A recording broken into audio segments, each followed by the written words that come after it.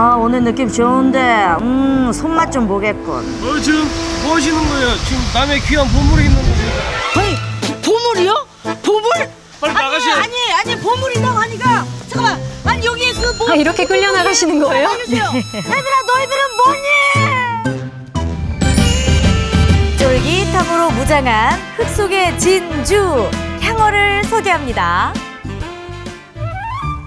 향어를 만나기 위해 찾아 나선 곳 우리나라 최대의 곡창지대 김제입니다. 고기를 잡으러 바다로 갈까요? 강으로 갈까요를 고민해야 되는데 아니 논두렁으로 왔어요. 안녕하세요, 안녕하세요. 아유 세상에, 아이고 어렵게 찾아왔어요. 아니 근데 진짜로 이 논두렁에서 물고기 그 물고기가 있어요, 진짜? 아이 그럼요 잠깐만 기다려 보세요 잔잔하던 저수지에 향어 밥을 뿌리자. 여기예요? 논에다가요? 일제히 모습을 드러내는 향어떼. 오. 이 잉어과 중에서도 가장 우량한 오. 품종이랍니다.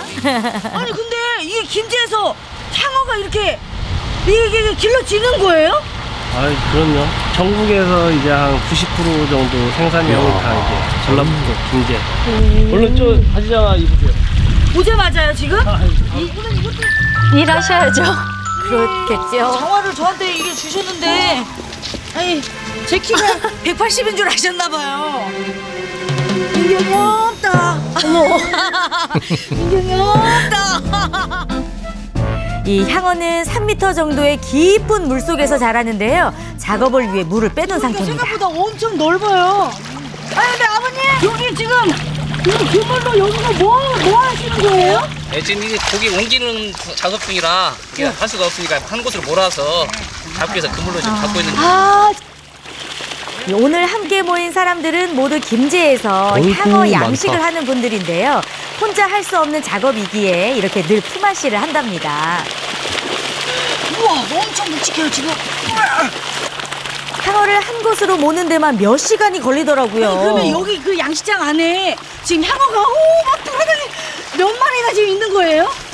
지금 한만 마리 예상 만 마리. 세상에. 네.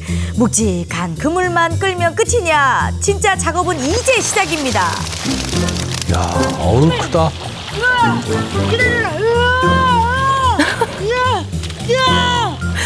근데 팔로 일하시는 것보다 입으로 소리를 더 내시는 것 같은데. 아, 아우 향어가 워낙 활기가 넘치니까 어쩔 수 없더라고요. 작은 놈들 보세요.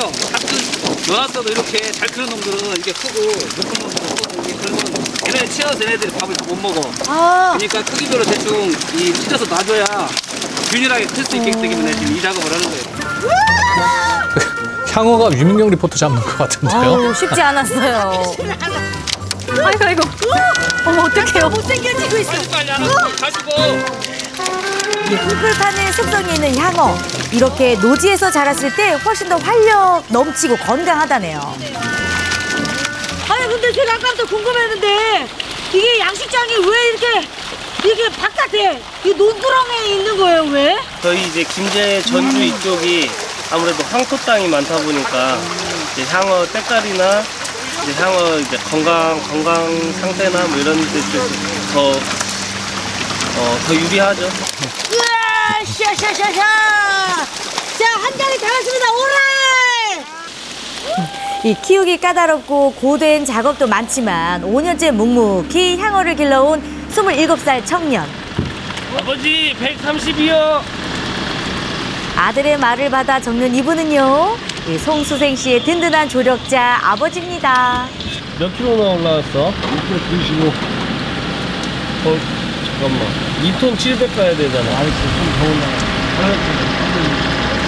아니 근데 아버님 제가 이렇게 보니까요 아들이 너무 듬직해요 어떠세요 어떠세요 자기 농장이가 자기가 잘해야지.